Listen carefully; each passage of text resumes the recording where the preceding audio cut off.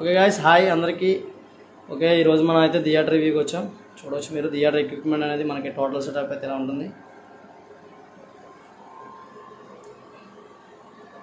ఇది overall equipment అయితే. ఇది అయితే కనుక మనకి మూవీ ప్రొజెక్టర్ ఇక్కడ ఉంది. సో మీరు తర్వాత చూసుకోవచ్చు.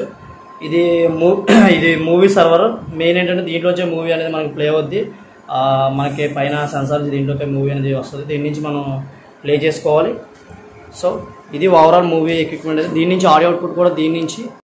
మనకి సౌండ్ మెయిన్ వచ్చేసరికి మనకి డాల్బీ ప్రాసెసర్ అనేది ఉంటుంది. So this is the Dolby processor మనకి ఒక మూవీ థియేటర్కి దిస్ ఇస్ డాల్బీ ప్రాసెసర్ చూసుకోవచ్చు. CP five hundred digital cinema processor అయితే ఇదైతే మనకి ఓవరాల్గా మనకి లైవ్ సౌండ్లో మిక్సర్ లాగా.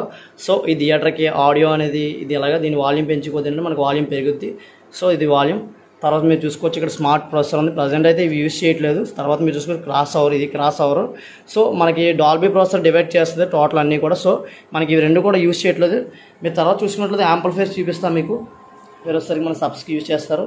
సబ్స్ తర్వాత మీరు చూసుకున్నట్లయితే కనుక మనకి సెంటరు ఒక ఫైవ్ పాయింట్ వన్ ఏంటంటే centre left centre left right subwoofer surrounding ఇదే ఇది వచ్చేసరికి మీకు five point one surrounding sound తర్వాత మీరు చూసుకున్నట్లయితే ఇక్కడ మన స్టార్టింగ్ బేస్ యాంప్లిఫైర్ ఉంది.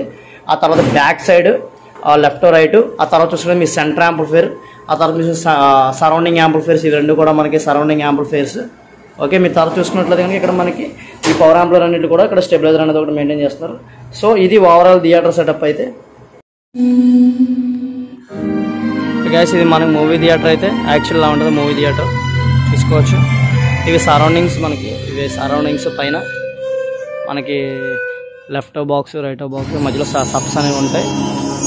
సో ఇది సెటప్ అయితే. మూవీ అనేది ప్లే అవుతుంది ఇప్పుడు.